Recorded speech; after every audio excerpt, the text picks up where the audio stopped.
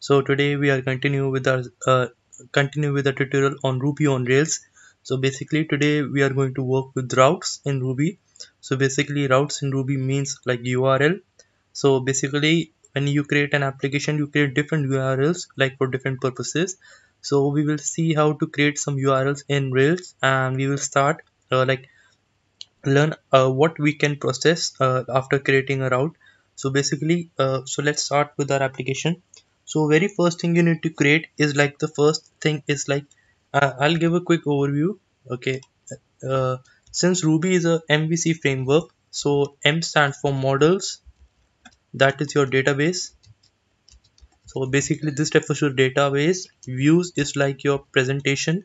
So basically that is your HTML and uh, like HTML and front end. So basically this is like for your presentation okay? Uh, presentation. And uh, the another one is controller. So controllers are basically used to like uh, like basically like it is like based to communicate and navigate between the above two.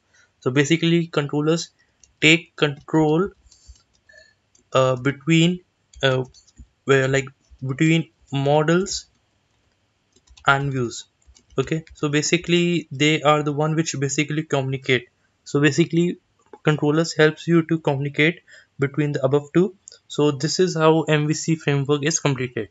So first thing we need to do is uh, okay. So first thing we need to do is we need to type rails server.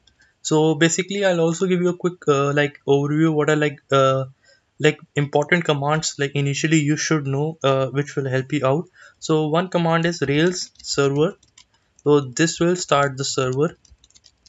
Okay. Uh yeah. And another is rails console. Console.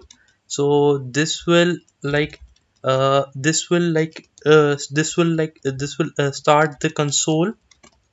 And you can like do uh, interact with your database models inside this console. So this has a short notation of rails s also known as rails s and this is also known as rails c uh, another one is rails generate. So basically generate is used to like generate like model views and controller. So you can generate things with this. So basically to generate. And it has a short notation of rails g, so basically these are the commands you should know. And preferably this should help you out uh, like uh, in this tutorial.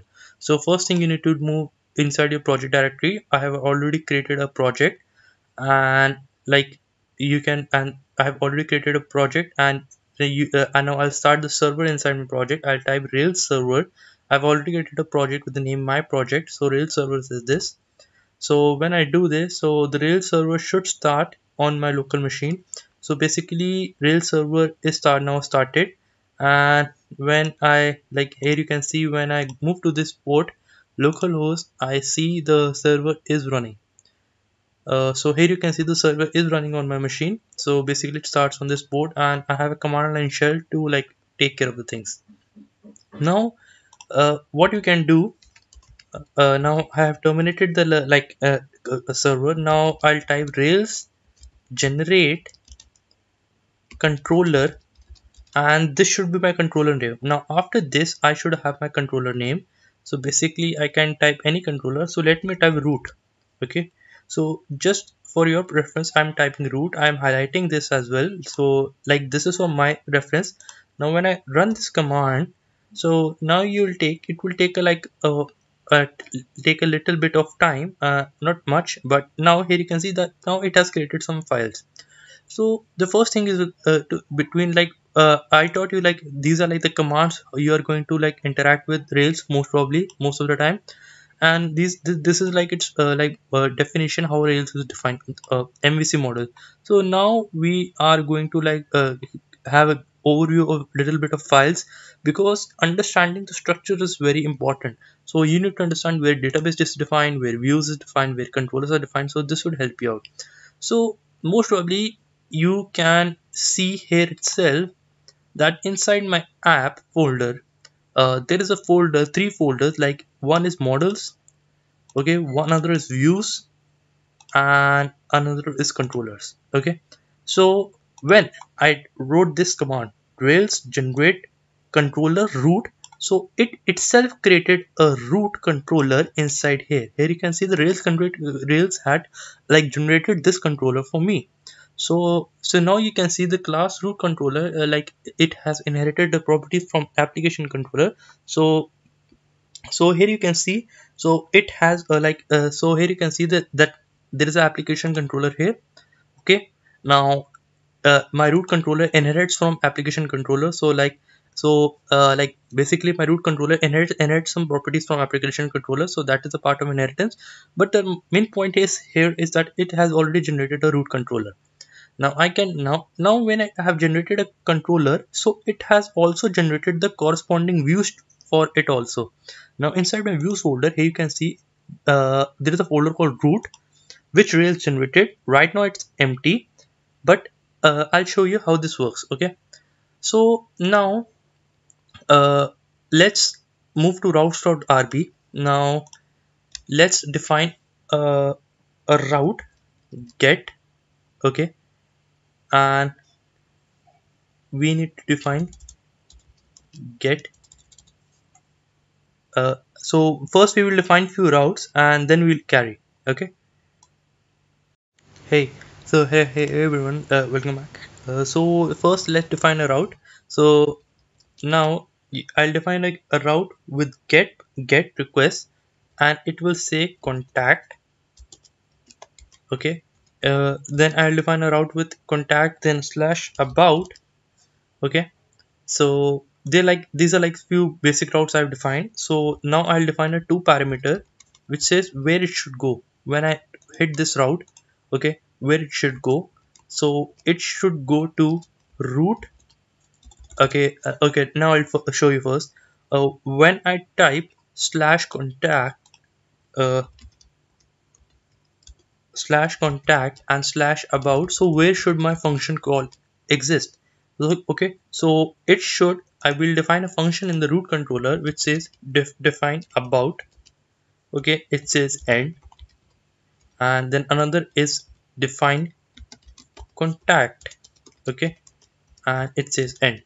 So basically these two methods should be called inside the controller when I, I hit that route. Okay.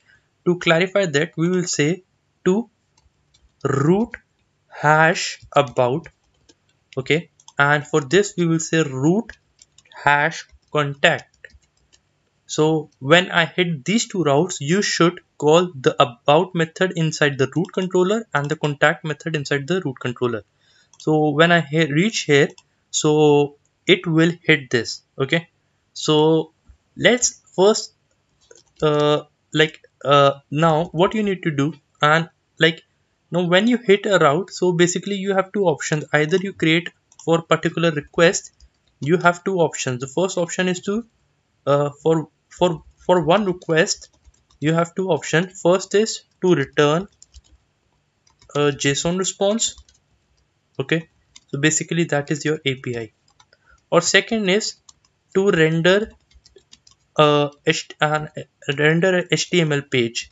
So that is your second option okay. So to make sure if you want to return like html page so you should have the inside your root folder. Basically inside views you have root. So you should have uh, a file with html name as about.html.erb and another should be contact.html.erb okay so like these are the two files and in, this I will define an h1 tag of about okay?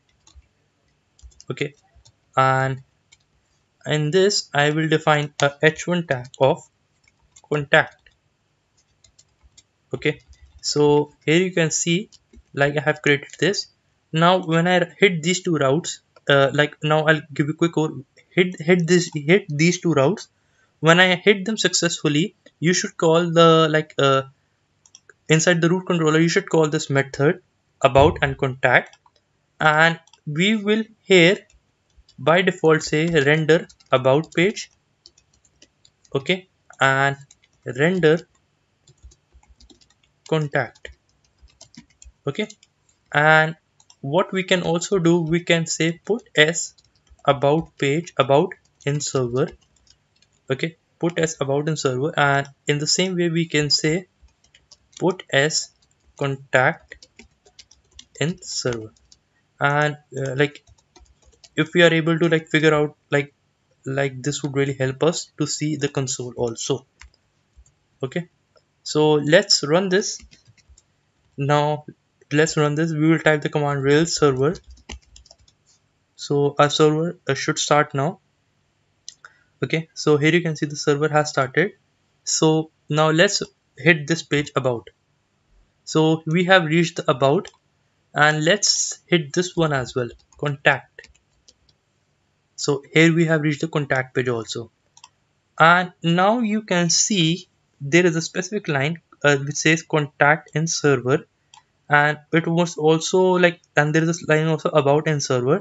So here you can see whenever uh, like I hit this route in the routes.rb it calls the about method and the contact method of my root controller. Uh, make sure that it can have any name. I, I named it as root you can name it with any other name. Then when it it like when uh the, it, it had hit the like method so it had first run the put a statement then it called a render method to uh, like uh, render the html page. So this is like the most basic tutorial to create a route and render an html page in rails now in the next we will try to return a json response. So i hope you you catch up you all in the next tutorial. So thank you everyone for watching this